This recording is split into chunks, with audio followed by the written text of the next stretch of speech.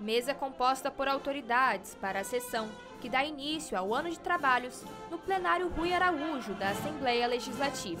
Dia de casa cheia no Parlamento Estadual.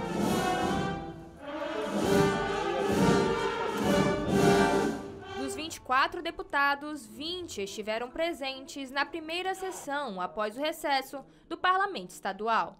No plenário, Wilson Lima destacou os efeitos da estiagem severa vivida pelo Estado em 2023. O ano de 2023, e a gente ainda sofre consequências disso, nós tivemos uma frustração de receita de algo em torno de um bilhão de reais.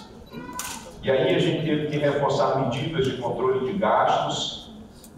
Foi necessário que tomássemos essas decisões Após a cerimônia, o governador falou em entrevista sobre as prioridades e desafios que o governo do estado tem para 2024 como a venda de créditos de carbono. A nossa prioridade continua sendo social, o combate à fome e a geração de emprego e renda. A atividade econômica, a geração de emprego, com as obras que o Estado está tocando, com a atenção que a gente tem que continuar dando questão da reforma tributária no sentido de preservar a Zona Franca de Manaus, fomentar o gás natural, em que o estado do Amazonas tem a maior reserva de gás em terra do país, e a questão do potássio, que em algum momento a gente precisa é, fazer com que isso se torne realidade para colocar o estado do Amazonas no outro patamar.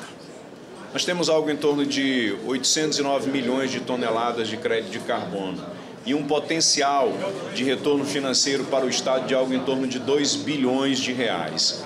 Nós estamos aprovando agora é um projeto, resultado de um, é, é de, um, de, de um edital que a gente abriu, 20 empresas se credenciaram para a comercialização desses créditos e, naturalmente, que uma apenas vai se habilitar nesse primeiro momento. Então, esse projeto é um projeto de algo em torno de é, 200 milhões de reais e a gente já tem com a habilitação dessa primeira empresa já em março, um sinal de pelo menos 50 milhões de reais desses créditos.